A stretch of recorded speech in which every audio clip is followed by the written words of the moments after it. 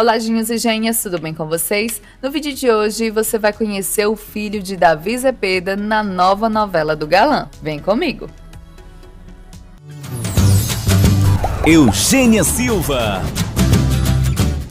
Natália Robles, uma bela dona de casa que descobre a traição de seu marido, e Vicente Ramires, um homem honesto e trabalhador que sofre a terrível perda de sua esposa.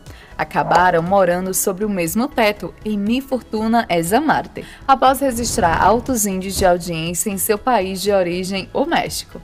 O melodrama marca o retorno à rede hispânica de Davi Zepeda, que interpreta Tinter, um simples e amoroso morador do bairro que tem um filho chamado Benjamin.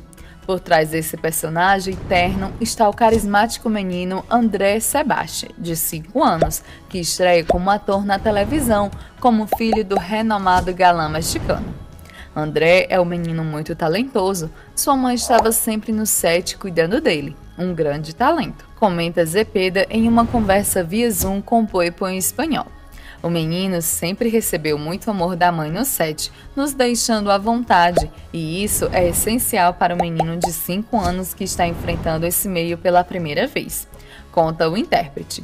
O ator reconhece que foi um grande sucesso por parte do produtor do melodrama, Nicandro Dias, ter incluído seu personagem na novela, já que ele não existia na história original. Esta é uma história colombiana e na história original não havia tal criança e o senhor Nicandro Dias o incluiu e muito corretamente. Ele tinha uma grande ligação com o público, diz ele em relação à repercussão que o personagem teve durante a transmissão da novela no México. Zepeda, que ultrapassa os 4 milhões de seguidores no Instagram, não considera mais difícil trabalhar com uma criança na gravação do que com um adulto.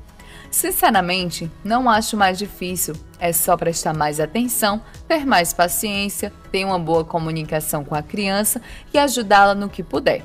É um trabalho em que você precisa ter ainda mais camaradagem, mas não é difícil de forma alguma, diz a estrela de outras novelas de sucesso. Davi Zepeda é conhecido no Brasil por ter estrelado em Sortilégio, A Dona e Abismo de Paixão. E aí, o que, que vocês acharam? Deixe abaixo nos comentários a opinião de vocês.